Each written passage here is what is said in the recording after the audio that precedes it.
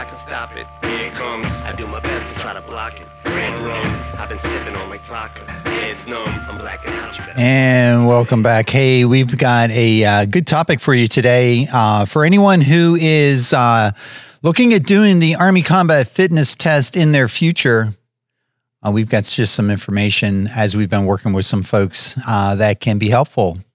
so, what we're talking about is the grip strength that is going to be required for the Army Combat Fitness Test. When we think about, you know, physical physical fitness and fitness and things like that, uh, we don't often think of the, you know, the strength we have in our grip and how that transfers to the tests uh, that are the Army Combat Fitness Test.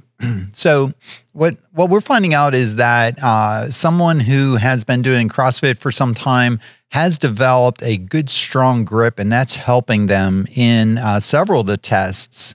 Uh, or to put it another way, for folks who uh, have not been training, uh, perhaps they have not been doing CrossFit, they uh, are lacking the grip strength uh, that is going to be necessary for several of the tests to do their best. So, take the first event, the first test. The first test is the three rep max deadlift. What we find is that when somebody is lacking the grip strength on the bar, they're having a very difficult time uh, holding that uh, holding that bar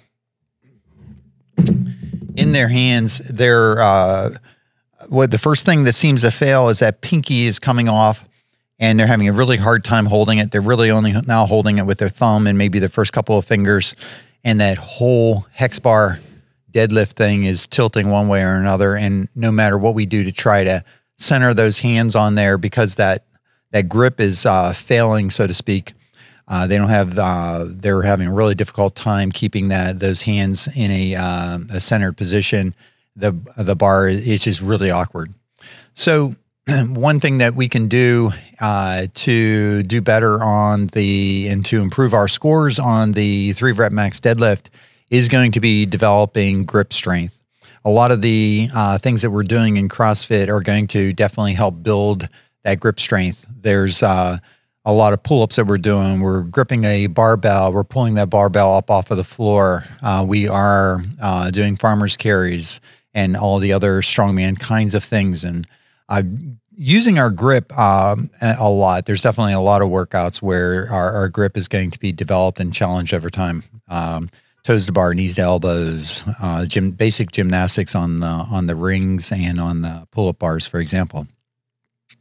Uh, the uh, the other tests that are going to be affected by the grip, of course, there's the sprint drag carry, which by itself has the farmer's carry in it, where you have your two 40 pound kettlebells and uh, you're traversing through the course on that. That's an obvious one. Uh, then there is also the uh, hanging leg tuck, and it is uh, a big deal if you do not have the grip strength uh, you will not be able to hold on to the bar long enough to be able to even get a single or several, uh, even your first uh, hanging leg tuck. So, developing grip strength actually is going to be an important part.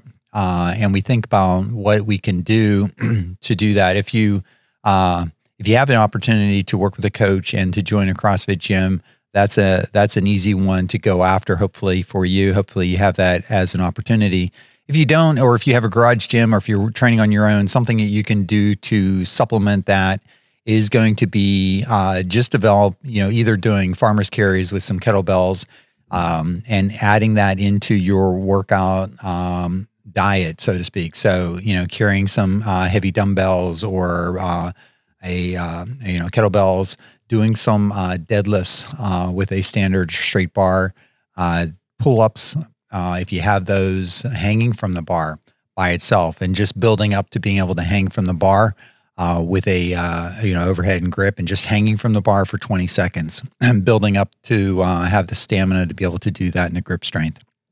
Uh, as far as technique goes on that, what you really want to do for a really nice strong grip is make sure that you wrap those uh, all four fingers, including the pinky knuckle, around the object that you're trying to hold.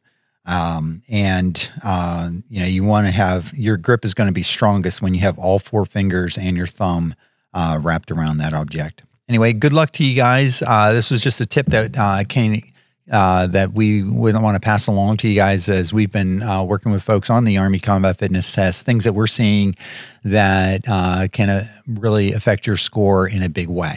So, anyway, if you got any uh, questions, comments, uh, concerns, or info questions, pass them our way. Comment down below, and we'd be happy to try to answer them for you. Take care and have a good day.